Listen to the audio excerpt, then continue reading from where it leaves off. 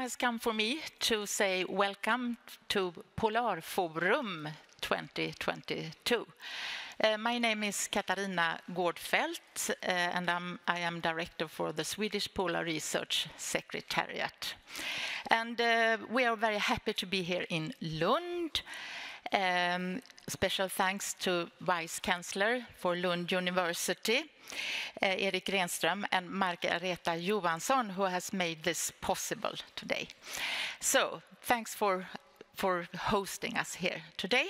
So with this, I will give the word to Vice Chancellor um, uh, Erik Renström and uh, at uh, Lund University. Please. So, thank you very much for this uh, brief introduction. So, it's a pleasure for me to welcome you here uh, very much because uh, the, the research in uh, the Arctic domain in, uh, in polarforskning uh, is famous within Lund University, and I understand when I talk to you, also outside in the larger world. So, uh, some a flavor of Lund. Uh, you come here. This is an ordinary lecture hall, not, uh, but it is actually. I, sp I, spent last night here, and it is a fantastic place. If you're at a big dinner and the dinner conversation starts to uh, become a bit boring, you just look up the ceiling and you see something exciting going on. And in particular, I should say, the kitchen was uh, behind screens there, and there were lots of noises coming out, glasses, glassware falling down and so. So it was big, big, big entertainment. So, but it is part of Lund University because this is Skissernas Museum, which is an art museum about the uh, the artistic process, and uh, as such, uh, we uh, we are are the ones that are responsible for this. So Lund University in Posterum uh, in Latin. So we're also famous, at least in Sweden, for having our doctoral conferment ceremony partially in Latin. And, well, Many ask me, when will you ever learn Swedish? Uh, but uh, as long as I have anything to say with this, I will stay with Latin. I mean, myself, I'm from uh, from the the area of medicine, and I only studied very small snippets of uh, Latin. But the more I learn about Latin, I love this. It's something that brings us back to our roots, and it's actually a very good language for science as well. Um, so I could go, on talking about this. But in posterum, yeah, for the future. So I, I would say that's probably what uh, what signifies Lund University. There. We have we cherish our traditions, and they are good. They are the platform for what we do.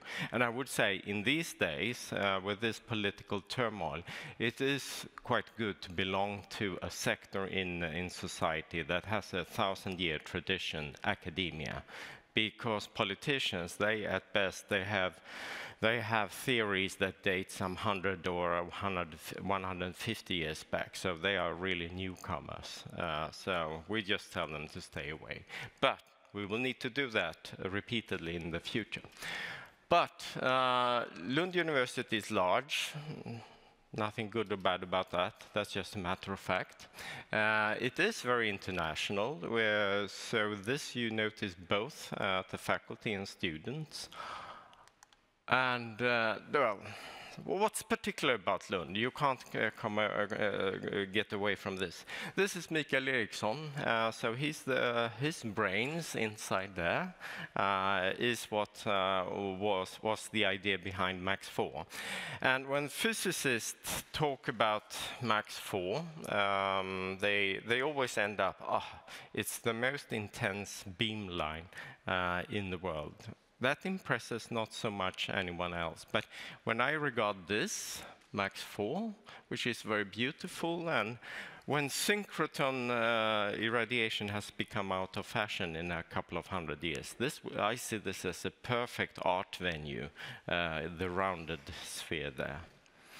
Uh, Max 4 together with uh, ESS that's under construction just uh, slightly to the north are of course um, infrastructures that we have to think a lot about uh, at Lund University. And that is important for an increasingly number of scientific areas. Uh, So uh, are, are you a big, uh, big customer at Max 4 these days? No. But it will come, it will come. Because as soon as you start to dig into the ground and you pick up artifacts, at some point uh, you want to send them in here in these two giant microscopes, which they are. Uh, the ones that do this best at the moment, I would say, are the archaeologists. They, um, they really behave like Renaissance people. They are deeply embedded in their humanistic tradition, but they uh, go into physics, chemistry, and uh, all sorts of, uh, of uh, arts. Um, uh, when, when that's needed. And they are actually big users here and are probably the ones who understand this the most. So looking at all this from from ESS and down towards Copenhagen. Uh, we also see this as a great area of uh, where we could do lots of uh, good things together with uh, with companies and other other communities um, uh, that, that want to interact with us. And we have done great investments, and we will do great investments in this area.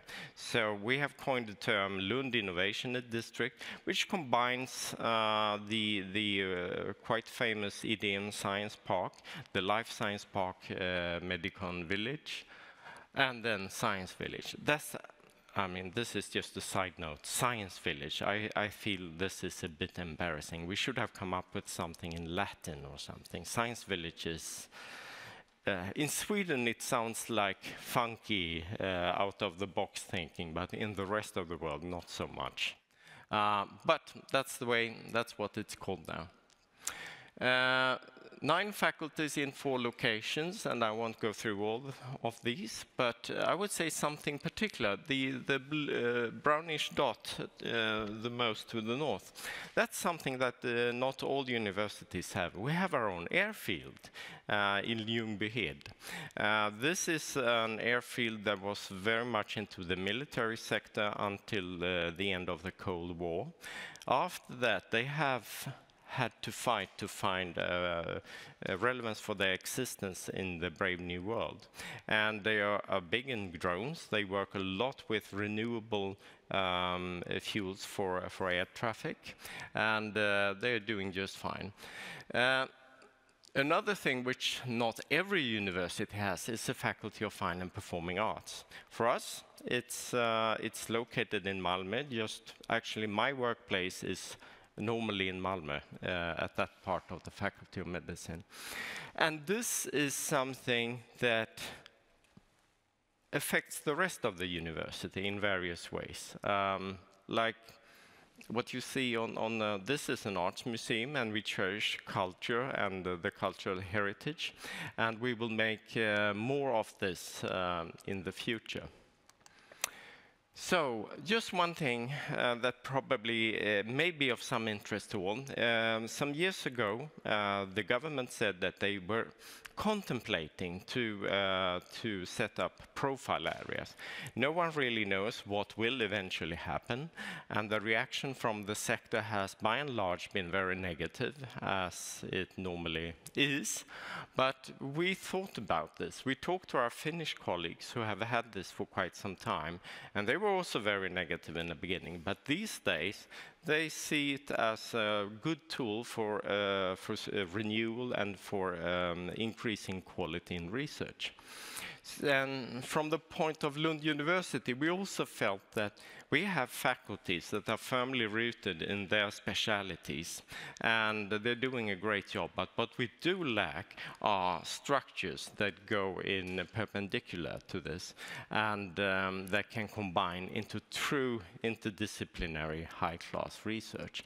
So we started a process uh, um, a year ago, and lo and behold, we now have uh, just before midsummer, five profile areas were designated, and uh, they are here. Sustainable solutions, that's where you will uh, find uh, uh, Arctic research. And it is, this is a very strong area at Lund University. Whatever metrics you use or, or qualitative measures, you always end up on top. So we're very proud of your work, Maria.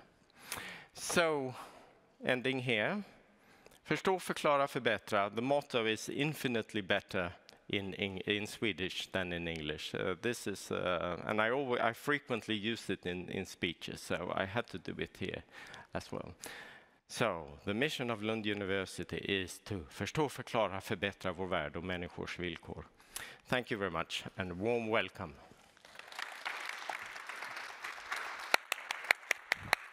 Thank you. Please stay, Erik. Please stay. Thank you very much, Erik, for this uh, welcome speech. And, and, I'm happy that you talk so warmly about uh, arts and uh, humanities. And uh, I will hand over a present to you, a gift. This is a catalog from our art exhibition at Valdemarsudde last year, wow. which uh, was based on the artist program that we have conducted uh, alongside with our research for uh, more than 30 years. So please enjoy, and thanks for hosting Thank us here. Thank you so much. I mean, I must say, this is truly something that I personally uh, appreciate. And uh, I have to say this, me uh, talking about arts and so, it was not planned. I had no idea about what no? the gift should be. So, uh, um, but it, it, hit the right note, obviously. Hmm? Thank you. Thank, Thank you, you very much. So now I will just say a few words about our secretariat. The Swedish Polar Research Secretariat is a governmental agency and our mandate is to promote and coordinate, coordinate Swedish polar research. Uh, we work constantly to improve the possibilities for Swedish polar researchers to conduct polar research in field and our overall go goal is to increase the international impact of Swedish polar research. Uh, the geopolitical situation is um, now very complicated, as we all know. know. Russia's war to Ukraine is, of course, a tragedy to the Ukrainian people and it has a large impact also on the geopolitical situation in Arctic and therefore also on our activities uh, when it comes to planning of field expeditions and um, research collaborations and so on, which we are very sad for. For example, we have had uh, this year to postpone or cancel two expeditions with our research icebreaker Odin because of part of it was based either on collaboration with Russian, Russia or it was um, planned to be on Russian uh, waters. Um, we, of course, hope that the situation will be um, improved, and we are happy to say that we can. We are strengthening the collaboration with the countries that are uh, will, willing to work with us, uh, the northern countries, the European countries, and so on. And I think that Margareta will talk a bit more about uh, collaboration, how, how it can be, how it is affected nowadays. But we will try to sustain and do our best to keep up a strong collaboration with uh, international collaboration and try to uh, facilitate research expeditions in the areas where we can go now. Um, at uh, the Secretariat, we have a top priority now for next year, and that is to try to um, um, plan for a uh, new heavy research icebreaker a climate neutral icebreaker. I think it's very important that the scientific community uh, takes its part and its share uh, in bringing down the environmental and climate footprint from expeditions and from research activities. Therefore, our top priority is to try to uh, um, have decisions on governmental level on a new climate neutral heavy icebreaker that can be used for research Uh, full year round. It's not easy. I don't say that we will be successful, but of course, we must try, and we continue to do that, and we that, and we have seen some signs of success. For example, last year, there was a Swedish investigation called the Kransrapporten, which eh, investigated the possibilities for Sweden and the scientific basis eh, that is the um, eh, the reason to do this, if these parts were in place. And there was a strong um, recommendation from this report that Sweden should invest in a new climate-neutral icebreaker. I say, uh, uh, repeat, this is not easy, and we will need your help, and you have already helped us a lot because Swedish polar science is among world leading, and that is the basis uh, at all to invest in research infrastructure in our area. The third point that I would like to make uh, now in this introduction is that uh, we are planning for make a new call for applications in 2023 within the Polar Research Process. And uh, this time it will be directed to Antarctica. For the moment, we do not know which infrastructure that we have access to. Of course, we have our research stations at Dronning Maudland, um, Wasa, and Svea, uh, but we will try to find out if we can, through international collaboration, also offer more uh, infrastructure for researchers. But the plan is to have a new call, new round in the Polar Research Process, uh, with emphasis on Antarctica. Okay, there will be more information from our secretariat and what we are uh, doing and planning from my colleagues, and that will be during the session after the coffee break. But now, time has come for me to present the next speaker, which is Magnus Friberg from eh, the Swedish Research Council, and Magnus is Senior Research Officer. No? Whatever. Call me whatever you want. Yeah.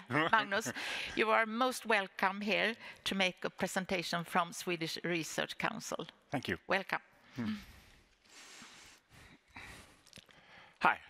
I've been given the daunting task of presenting research opportunities at the Swedish Research Council in 10 minutes. I will not do everything. So we are, we are part of 40 international research organizations providing things like MAX4 and ESS, which I presented before, and also even more of national facilities. So I made a selection. Hmm? Okay, so I'm gonna talk about some of the new opportunities coming up. Next slide, please. Uh, or do I have a machine here? Yeah. Next. So this talk is very briefly divided into, first, I'm gonna present some opportunities, and then I'm gonna give you a few minutes to ask questions to the Research Council, and I will answer to the best of my abilities. Maybe I can only point you to where you can find the answer, and sometimes I might be able to answer. Hmm. So it said or not in this first slide. This is what we're not providing to you guys this time. This was a 10-year effort in trying to drill 50 million years of climate record in the Arctic Basin. And finally, we got together with the Polar Secretariat, we actually managed to pull this off. Putin invaded Ukraine, and we had to cancel everything. This was, I think, $32 million, something, down the drain. We got some back. Mm, okay. So unfortunately, we cannot offer this one to you. That would have been really nice with a big Swedish flag on these drill ships. Mm. The next thing we're gonna offer you very soon, this is called the EISCAT 3D system. We are building 30,000 antennas in Norway, Sweden, and Finland. We are all linked together uh, that can measure at the same time. So we will see everything in the atmosphere from about 300 meters up in three-dimensional vectors every 1,000 seconds, and to as far as you can uh, consider it. So everything orbiting in space, Christer Fuglesang's WRENCH, we will be able to detect it in three dimensions. But we'll also, the polar vortex, the high altitude winds, the noctilucent clouds, everything, we can map them instantly, hmm. Constantly. That's gonna be a pretty cool thing if we can pay electric bills. So things have arrived late because of COVID in Norway, lockdown, and then when Norway opened up, Shanghai locked down, so we couldn't get our things out. But now they're on site and being put together, and hopefully next year. Next one. This is little my new favorite project, leaving the old project behind. Uh, so communications from Europe to Asia goes through China, Russia, Belarus, or through the Mediterranean, Egypt, uh, Burma, or different places. Not very funny. They can listen to what we say. The other route is across the United States, and we pay a hell of a lot because Facebook and Google use those cables, and they charge Europeans a lot. We want to put a new cable directly from Kirkenes to Tokyo. Mm. We have two routes. We're going to probably try to do both. One going around Greenland, which is a longer route, and then one where we need help from Katarina and her new beautiful ship, straight from Kirkenes, slightly left of the North Pole to avoid the Russian sector, and then all the way to Tokyo or even to Seoul in Korea. This is a cool opportunity. So this is mostly for communications. So you, you, you, divide this into 18 fiber pairs. 14 we will give to industry. Two we will give to organizations like SUNET for just communication between universities. This, the next two ones are the ones I wouldn't talk about. You can put sensors on these cables, really cool sensors. You can measure temperature, pressure, uh, acoustics, seismics. And we're gonna, we can want to put those regularly on the cable all the way across the ocean basin and to the other side. And that's where we need your help. What do you want to measure on the seafloor from Kirkenes until Bering Strait? So any ideas what we can do, whatever? You will have limited power. You will have very good internet connection, so you will have instant measurements. The second it's measured, it will be in your computer. But you have to have low power sensors, and we have, some are already developed. The thing is, you have to build everything at once the cable is in one piece. So you have 100 mil. What's that? 1,000 kilometers of cable on the ship. And you have to put it all in once. So we cannot do any changes on route. But to do that one also we need a lot of icebreaking expeditions to map out the seafloor. So who's interested in that? Maybe. Hmm. So these are the three things which are happening and not happening from the Research Council at the moment. Hmm of interest for you. This will take a few years before the cable is there. And then finally, I got probably get time for a few questions, and you don't have to be about this. Whatever you want to know, uh, or thoughts of what we have done wrong, or we could do better. Two minutes, please. Mm. Time for questions. Mm. Mm. Ah, we're doing a perfect job. Thank you. Oh, oh, but maybe I can spell some questions. Mm. Yeah, would you like to elaborate this? Um, uh, why has not this cable been? Uh, I know the answer, but I would mm. like to everybody to hear this mm. once more. Why is this uh, cable not already there at the sea floor from uh, uh, over the uh, on the on the North Pole, the green line. Yeah, because we'll need a new icebreaker which is big enough that can carry the cable across. Yeah. Yeah. So so we will. We will have to hand, build hand in hand. Yeah. And yeah. the small cost of the cable is a new icebreaker. Yes, mm. yes, that's good. So, uh, we, we, we also actually going to need Odin as well. It's not sufficient with only one. No, she mm. can do the ice management mm. around the, the new platform. Mm. That sounds great.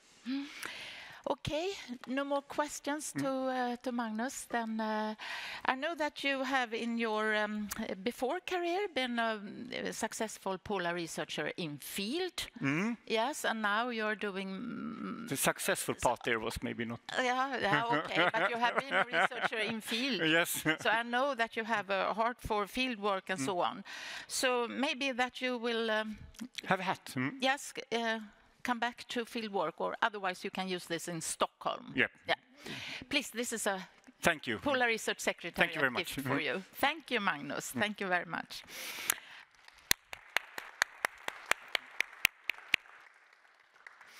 Okay, next presenter is uh, Katarina Buhr, Senior Research Officer at Formas, and Katarina is on um, uh, Zoom so I think we have uh, Katarina on the screen behind me. So. Here, can you hear me? I'm here, Katarina. Can you hear me? I can hear you, but I cannot see you. I was told that I will also see you on, on the screen here. We hear you, Katarina, but we don't see you yet. Here you are. Okay. Oh.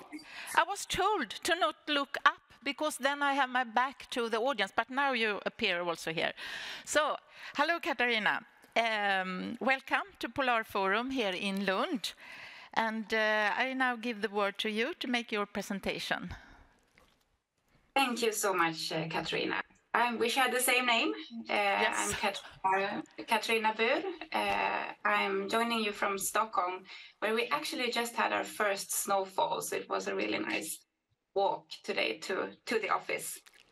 Uh, I will talk to you now uh, a bit about uh, Formas and the funding opportunities that uh, that you hopefully can see um, uh, at us.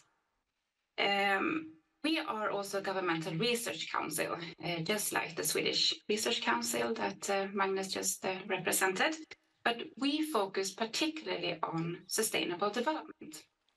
And uh, as such, of course, polar research is, uh, we, we recognize the importance of uh, polar research. And today I want to talk about how we can contribute. I also want to show you some of our prioritized areas of research. And uh, finally talk about two forthcoming calls for proposals that we will open early next year and hopefully I, can also save some time for questions. So just a few words about how Formas can contribute to polar research. Uh, the research that we fund should be both of high scientific quality and societal value. Uh, less known is that we also fund innovation to some extent. We perform, we perform research reviews ourselves. We have a group of people that uh, do this in the environmental area, but we also initiate research reviews that other people do. Of course, we take part in dialogue and collaboration in, in various ways, but we also make quite a lot of effort in communicating research and research results. And for those of you who are not that familiar with us, we our three areas of responsibility is the environment, agricultural science, and spatial spatial planning. I'm guessing the environment is of most interest to this audience. We allocate almost 2 billion Swedish crowns each year. And this is uh, a diagram that shows where the money goes. So about a third of our budget, a bit more than a third, goes out in our annual open call, which is our main instrument for research-initiated ideas. Uh, this is a call that opens uh, in the spring every year, and um, on November 23rd, we will announce who who were funded in the annual open call this year. Another third of our budget goes out in our national research programs, and I will come back to this in a minute. And we also spend quite a lot of money on other targeted investments, international calls, and the strategic innovation programs that we do together with Vinnova and the Swedish Energy Agency. So a few words about the national research programs. These are 10-year-long programs uh, that are initiated by the Swedish government. There are 13 of these in Sweden, and uh, Formas run four of these. Um, they all contribute to different societal challenges, and this is the government's research instrument to meet societal challenges. We do regular calls in prioritized areas. And uh, by prioritized areas, I also want to stress that this is not something that Formas has uh, come up with. Uh, we have, and I know the other research programs as well, they do extensive dialogue with different stakeholders to identify, identify prioritized areas together with researchers, but also uh, societal actors and other research funders, for example. We spend uh, quite a lot of time on coordination between funders to identify gaps and overlaps in uh, different calls. We seek synergies with the international research funding, especially Horizon Europe, but not only, I should say. Uh, we also do quite a lot of activities to try to boost the impact of research results in society in different ways. And what's also uh, what stands out in the national research programs uh, is that we often seek interdisciplinary approaches and cross-sectoral approaches. And this means that even though you may not feel at home with a certain title for a call or a thematic area for a program, uh, it still may be something that you uh, find interesting. These are Formas' four national research programs. The biggest one is on climate. We also run programs on sustainable spatial planning, food, oceans, and waters. I want to say a few more words about the climate program and the oceans and water program, which I think will be uh, most interesting for you. The one on climate, uh, we're halfway through here, started in 2017. It's the biggest one among all 13. We allocate at least 230 million Swedish crowns each year in this program. We don't only focus on emission reductions here, but also negative emissions, climate change adaptation, and synergies with the Agenda uh, 2030.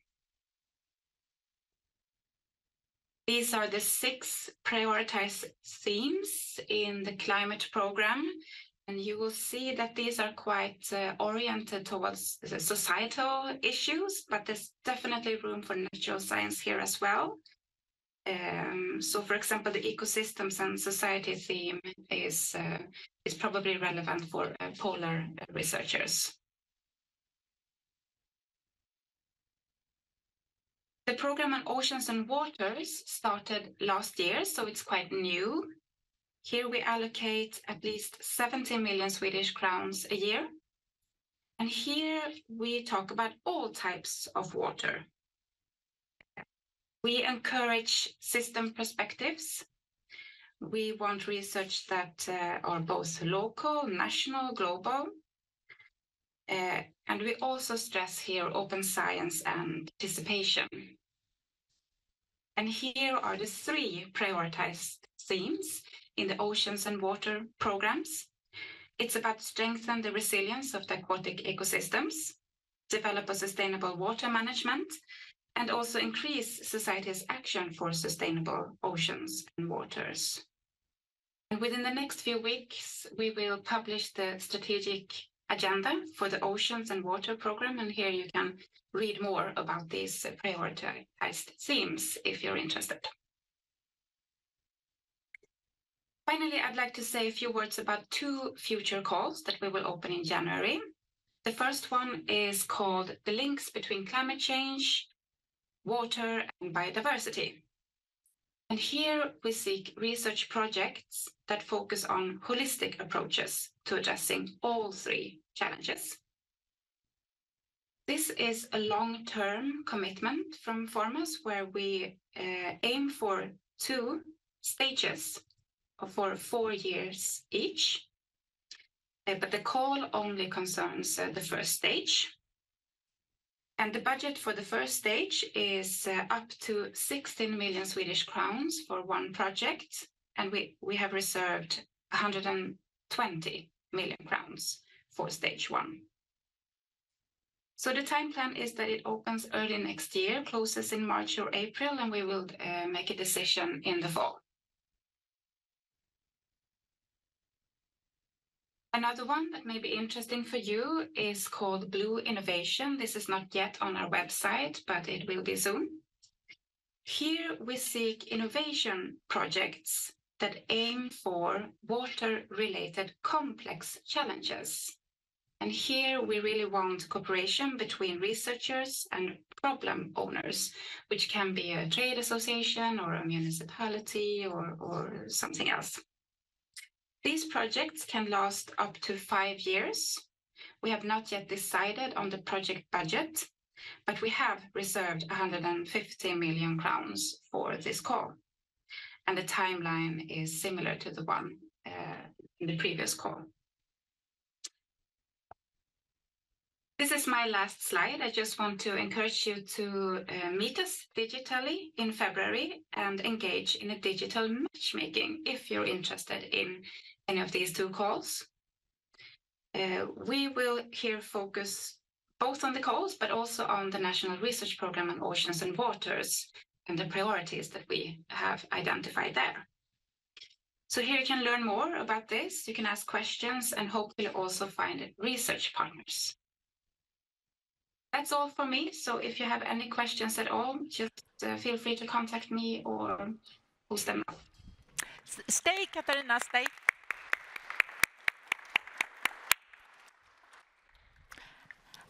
I bring a hat until next time we meet at, when I visit you at Formas. You should have a hat here from Swedish Polar Research Secretariat. Do you great, see it? Yeah? okay, that's great, Katarina. Uh, is there any questions from the uh, audience here uh, in the hall? No hands. Uh, Katarina, uh, can I ask you uh, one question then, perhaps? And that is, have you at Formas seen an increasing interest from the sci from sciences, sci researchers to um, apply for um, themes within Arctic or Antarctic or in po polar research? Well, that's a good question. Uh, to my knowledge, I don't think that we have followed up on that. Um, but of course, uh, you could see.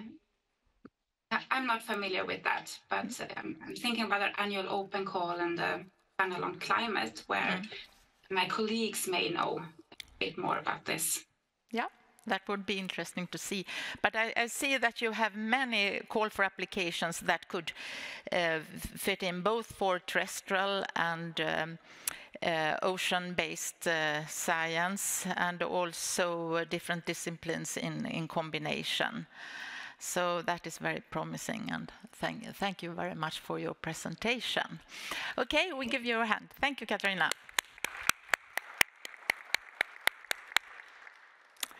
Okay, next presenter is Margareta Johansson, Associate Professor at the Department of Physical Geography and Ecosystem Science at Lund University. Margareta, please come up here on stage. And um, again, I would like to say thank you because you are the reason for us to be here. Actually, yeah. you are the reason because Am you, yes, you are because you started this excellent concept of having the Polarforum at different universities. Oh yeah. So I can thank you. okay, we because now I know there are many polar research in Lund that I wasn't aware of before. So this yes. is really brilliant. Yes. yes, this is nice to be a resande teatersällskap, traveling uh, theatre society or whatever. Thanks well. for, for being uh, for um, letting us come here. Thank so you please, very much. Margareta. Thank you. And I even have some slides, which is brilliant. So first of all, good morning, everyone. Great to see you all. Uh, yes, transnational access. So this is what can Interact do to scientists? So first of all, just to let you know that Interact is now a day a oh I do have them here as well. I don't have to stretch my back. Brilliant, thank you. So Interact is a network of 69 research stations. As you can see, there's a big blank space on the right-hand side.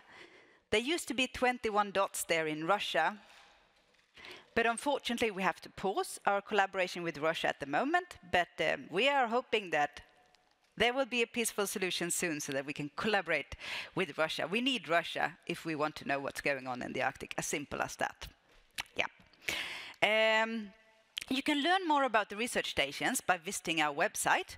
And as you can see, uh, we also have a station catalog that we usually refer to as the travel guide you know, where are you going to go next summer as the nerdy scientist? We look in the travel brochure for scientists.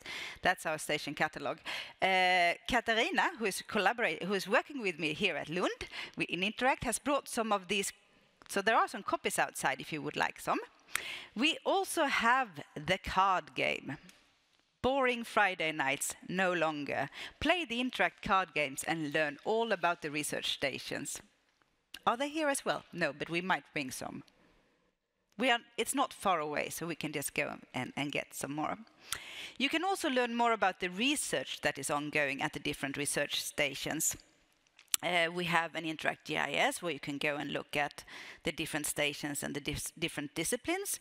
Uh, and you can also look at a research and monitoring catalog that is available both online but also physical copies. So what can Interact do to researchers? Well, we provide access. We used to provide access to more than 50 research stations, but now from the February and onwards, it, we are down to 30 uh, something, nine, I think, roundabout. We are not that fussy with numbers. Um, and on an annual basis, we have a call for scientists um, to come and do research at the research stations. We pay for the accommodation and the travel. We have just had a call finishing now on the 15th of November, so I hope some of you have uh, submitted applications to go to the Arctic next summer. Some, some, some nodding heads, I like that. Um, but we do have different modalities. So we have something called transnational access, and that is when we actually have the scientist that goes to the research station and do their research on their own. We also have something called remote access, and that is when we have staff at the research stations that are doing the research for the scientist.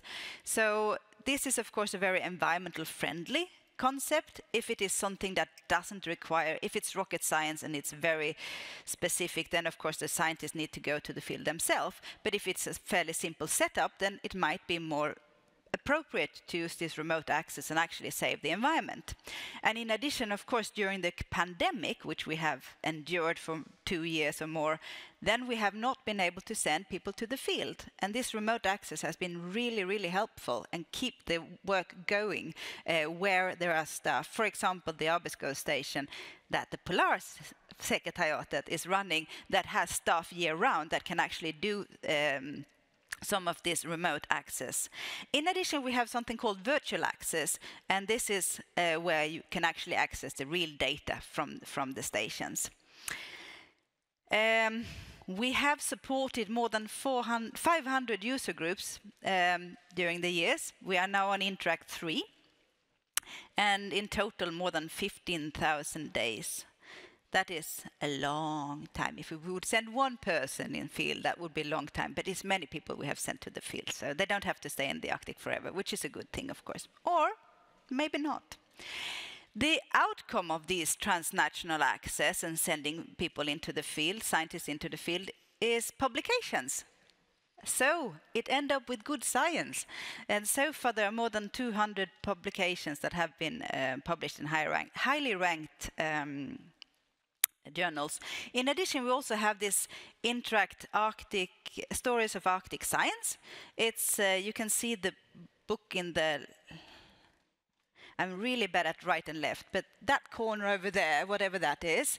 Um, and it basically it, it, describes some of the, the stories that uh, some of the research that has been ongoing by the transnational access. Um, we also have an online course and we have a user community and one of the outcomes is the little bumblebee there. A new bumblebee species was detected at Toolik Lake in Alaska and it was named after Interact. Bombus Interact. I mean, how many EU projects have got their own bumblebee species? We do, we do. Um, as I said, we do have this virtual access, the Interact data portal that can be uh, where you can access um, data from, from the research stations. So far this year we have had more than 4,500 users, which I think is quite good actually, uh, from 136 countries. That's a lot of countries. It's really nice that you can, if you, even if you cannot access the Arctic yourself, you can still access the data from the Arctic. Um, we are also working on improving station management. Um, Katarina was talking about this climate neutral ship before, or sorry, maybe that was not the, wording, but that, is sort of the, the, the meaning, yeah. Um, and we are doing the same. How can we try to reduce the environmental footprint from the research stations? They are often located in very remote areas where there are they are the main polluters, if I may say. So how can we then decrease this? Um, and of course, working on risk management and safety issues and making sure that when the scientists get there, it should be as safe as possible. We are also trying to contribute to safe fieldwork. So how can we prepare the scientists to go to the field?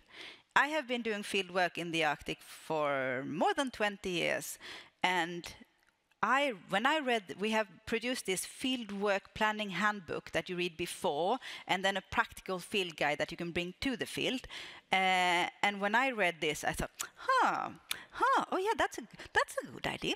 Yeah, da, da, da, so then we have all the station managers like Magnus, and they bring their knowledge and wisdom and put that together into these handbooks and that is very very helpful for scientists if you go to a very remote place you don't want to end up realizing that I should have brought another piece of that or another battery because now I cannot do my thing and the supermarket is two, 2,000 kilometers away or whatever. Not a good scenario. So it is very helpful. And you can, you can find that. And then also looking for the, what research station would suit your needs and your research questions. You can go to uh, an online tool and filter and then the latest edition is an overview of Arctic permit systems. For some of you who have been doing fieldwork in the Arctic, you know that it can be very tricky to get the right permits, to to to know what what to what to do before, etc. But anyhow, we hope that we can continue to provide access. This is an EU project, and of course, EU we hope that there will be future funding as well so that we can continue to offer access in the Arctic to the science community. If you want to know more about us, then please visit our website. You can visit us on Facebook. Please like us. And then you will get all the information. We are on Twitter and, and, and, and Instagram. And if you have any questions, then please contact me or Katarina here um, during the day. Thank you very much. Stay. Stay. Thank you so much, Margareta. This has been twisted together. Ah, here's one for you. Oh, this could be good to have in the field stations. Yeah. Is it? Yes, pretty, pretty. Yeah. Thanks. First, are there any questions for Margareta here on stage or? Um No hands in the air. Okay, may I spell a question, which I guess you often get nowadays. And uh, it is a sad situation that half the Arctic is now excluded almost from the Interact project and all the research stations. Mm. Do you know how they, your Russian colleagues get along at the stations? Um, I, I, think it's it's very different conditions for different stations. Yeah. Uh, some of them are really struggling yeah. uh, to get mm. to be able to. I mean, what they want, of course, is to continue. First of all, when when we said we have to pause the collaboration, everyone responded, "We understand," yeah. Uh, and they were very well. They were very understanding, and uh, it feels as there are at least no hard feeling between us. No. I mean, then no, no. the institutions, we don't care about them. But the colleagues and what we want, we want to make data available from the Arctic. Yeah. Um, and that is something that they will continue to strive yeah. for, for this sure. Was important uh, point. Yeah, they will, they will try to continue to strive for that. But then I'm not sure what their budget will be like. I mean, of course, that depends on mm. a million yeah. things. And many of them are belong to stately owned um, institutions. Mm. So of course, but hopefully some data will be rescued and uh, I am sure that on. as yeah. much data as they can continue to mm. to gather, they will do mm. that mm. because they mm. have the same aim as we mm. do mm. to uh, make data available. Thank you, Margareta, for coming here uh, for presenting your most important work. Thank you. Yeah. Okay, next presenter will be online uh, via Zoom distance talk, and that is Shridhar Jawak, a remote sensing officer from the SIOS um, uh, collaboration. SIOS, an international collaboration to create a regional observation system. Hello. Can you hear us, Shridhar? Hello. Can Hello. you hear me? Welcome to us here. So I give the word to you, please, Shridhar, present. Thank you. And uh, good morning from Svalbard. I would start with the introduction with the SIOS and also provide some recent updates and the opportunities for the scientists working in Svalbard. So those who are new, SIOS is a consortium of 28 institutions from 10 countries. It is also an observing system for the Earth system science and also our research distributed research infrastructure in terms of observational facilities over Svalbard. So we have a mission to decrease the environmental footprint of science and also share technology, knowledge, experience, and data. How we do it? We work toward the integration of the in situ measurements from the infrastructure and uh, integrate it with the space-based observations to fill the gaps. And how we do it and actual in reality, we have services. These are six services we provide, and I will go one by one. So uh, through each of them. First is data management. So we work on the FAIR principle, findable, accessible, interoperable, and reusable data. So we have a dedicated SIOS data access point where you can access the data from the SIOS research infrastructure over Svalbard. We have remote sensing service, which I take care of. What is the remote sensing uh, service is the single point of contact for the satellite information for Svalbard. We are also the Copernicus relay, northernmost Copernicus relays, in a way that we promote the uh, European Commission satellite data sets for uh, Svalbard science. We also provide tools and product provide geospatial products. We annually host the annual SIOS online conference, which is based on Earth observation and remote sensing. The recent one was was recently concluded in October. We received around 30 abstracts and around 50 talks.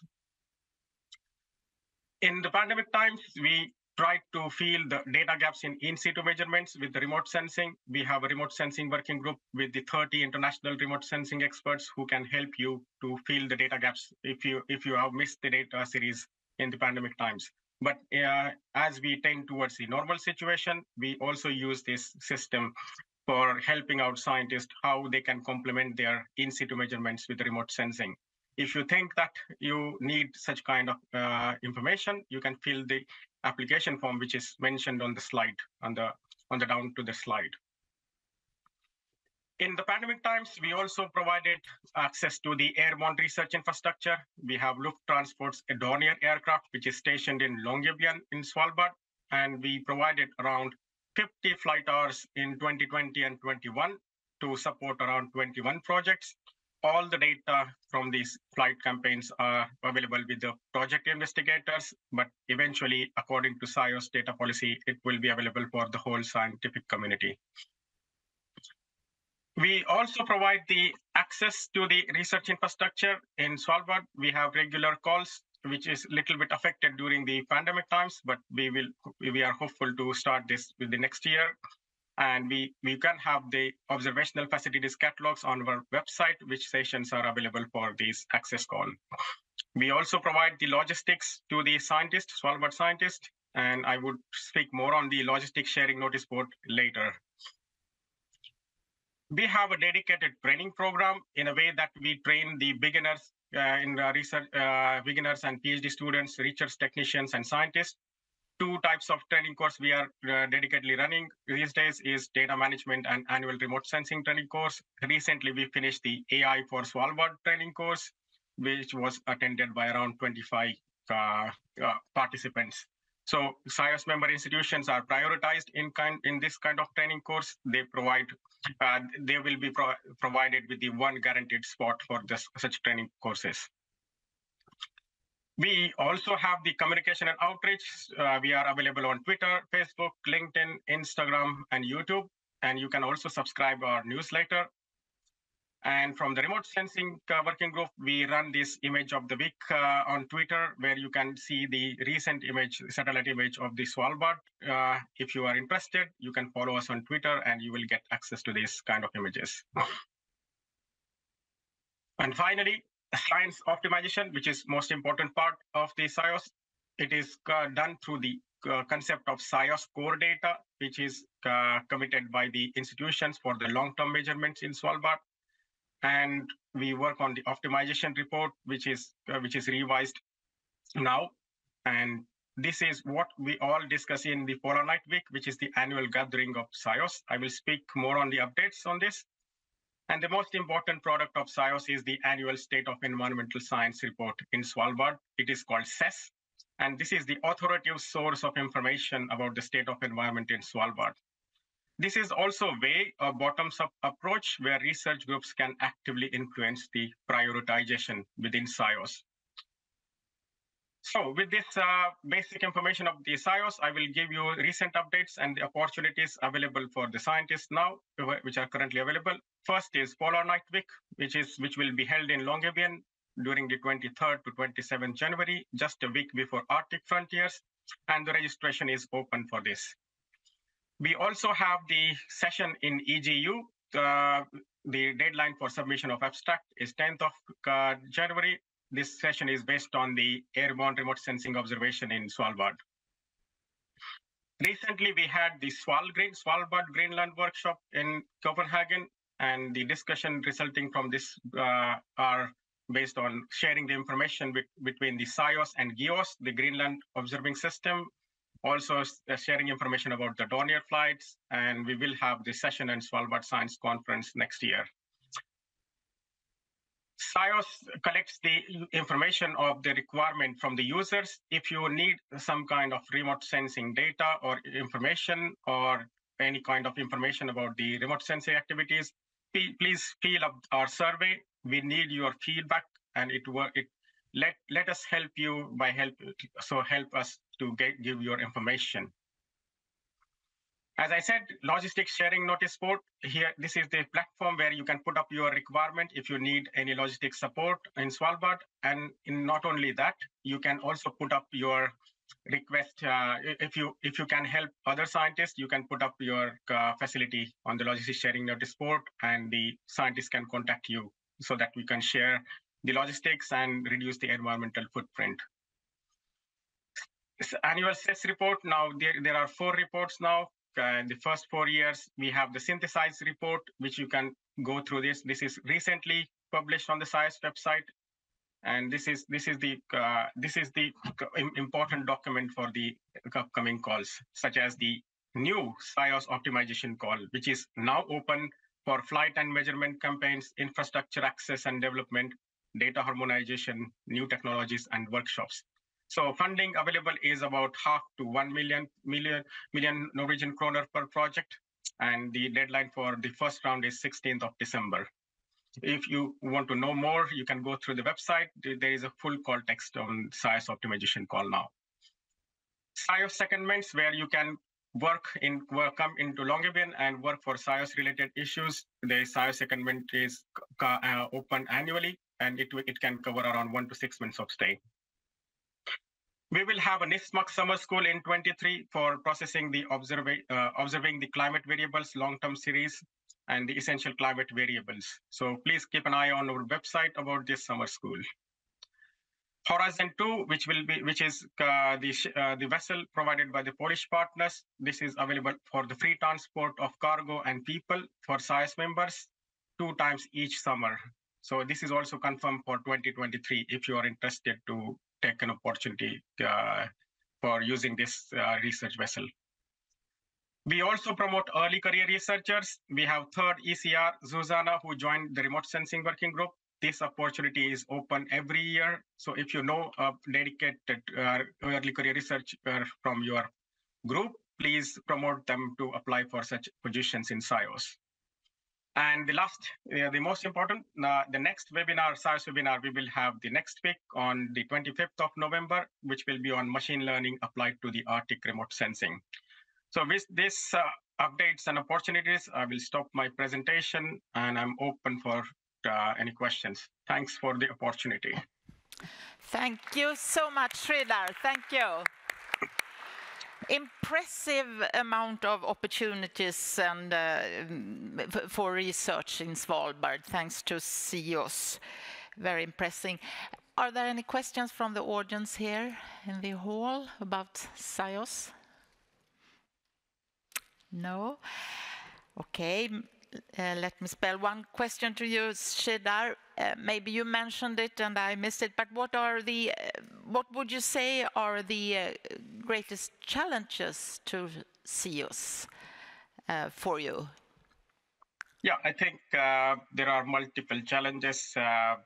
First, now in the past two years, because of the pandemic, most of the scientists couldn't reach Svalbard, and those were the challenging times. And there we tried to Uh, develop new services to help the Svalbard scientists, and we are now going towards the normal situation. This was one of the most important challenges we faced in past years. Hmm. Thank you very much. We will do our best to spread the information about SIOS from from our side here in Sweden, and it's great to be in contact with you. So say hello to Svalbard from me. Thank you. Thank you for today. Bye-bye, Shridhar.